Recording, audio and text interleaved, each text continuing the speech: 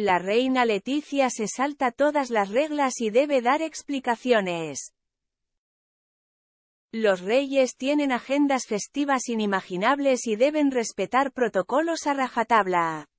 No obstante, hay ocasiones en que la reina Leticia se salta las reglas. Cuando son anfitriones, los flashes van sobre ella y el rey Felipe, por lo que quedar expuesta es solo cuestión de tiempo. Una de estas costumbres que se deben respetar son en el momento del brindis, que desde hace un tiempo despierta el interés mediático. En estos momentos, todas las miradas se centran en la reina consorte, quien desde hace varios años es abstemia, es decir, no prueba ni una gota de alcohol.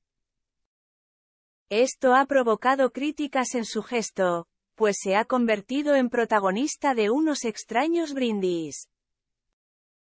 La primera vez que desveló su decisión de no beber fue en 2015 durante la visita a la Academia de Artillería de Segovia. Yo, como no bebo, me la acerco solo a los labios. Y me critican porque dicen que no bebo. Pero es que yo no bebo nada de vino. No bebo ni café ni vino, soy incapaz. Pero es que ni siquiera con amigos. Ahora son abstemia completamente, confesó la madre de Leonor y Sofía.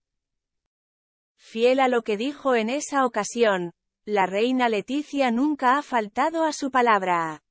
Cuando llega la ocasión de brindar, también se pone de pie, toma su copa, la eleva unos centímetros y disimula. Mientras que el resto da un trago, ella se la apoya en los labios y huele el contenido. Tiempo después, y tras ser muy cuestionada, dejó incluso de apoyarla en los labios.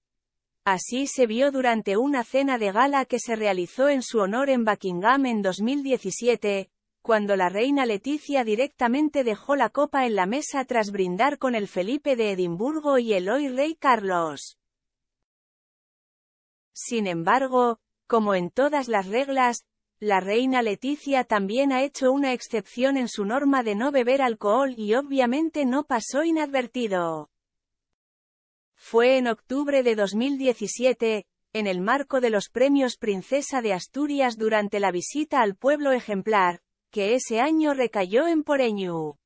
Allí, bebió un sorbo de sidra que le ofrecieron en la vía pública.